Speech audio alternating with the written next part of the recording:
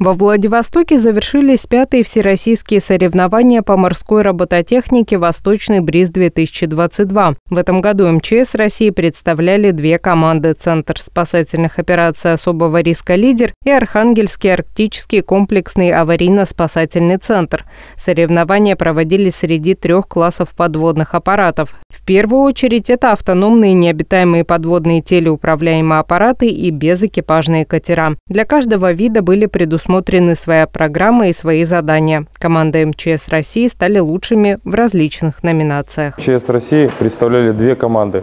Центра спасательных операций особого риска «Лидер» и Архангельского арктического комплексного аварийно-спасательного центра. По итогам соревнований команда Центра «Лидер» заняла два первых места в классе А «Малые роботы» и Б средние роботы. А команда Архангельского АКСЦ заняла второе место в классе Б средние роботы.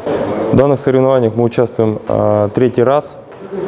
Сложность данных соревнований заключается в том, что они максимально приближены к тем условиям, в которых мы чаще всего выполняем свои задачи по предназначению.